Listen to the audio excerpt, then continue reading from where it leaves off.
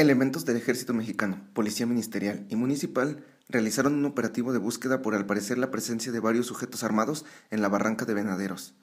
Cerca de las 4 de la mañana de ayer, un hombre de 25 años fue ejecutado a balazos cuando circulaba en una motocicleta en la zona que comprende la colonia León 2 y el camino de terracería que conduce a la barranca de Venaderos. A las 12 del mediodía se reportaron disparos en la zona de la barranca y la colonia Jacinto López, supuestamente a manos de tres hombres que se dieron a la fuga rumbo a la barranca. Una de las primeras versiones era que los agentes iban a cumplimentar tres órdenes de aprehensión, pero fueron recibidos a balazos por los sujetos. Los efectivos descendieron a la barranca y mediante un operativo de búsqueda se implementó la localización de dos personas que fueron detenidas y puestas a disposición de los agentes ministeriales. Uno de los detenidos se identificó como Edgar Alejandro, de 22 años y originario de Guadalajara. A los policías les dijo que el motivo de su visita en la ciudad era para visitar a su novia y al momento de su detención dijo que se encontraba fumando marihuana.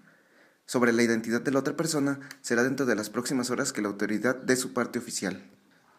El operativo de búsqueda continuó en la zona de la barranca de Venaderos, Jacinto López y León II, y lo último que informó la PGJE sobre el operativo fue que se originó de una investigación de la Unidad Especializada en Homicidios. Por el delito de homicidio no hay personas detenidas, únicamente Edgar, otro hombre y varios sujetos en calidad de presentados ante la PGJE. Jorge Hernández, Zona Franca.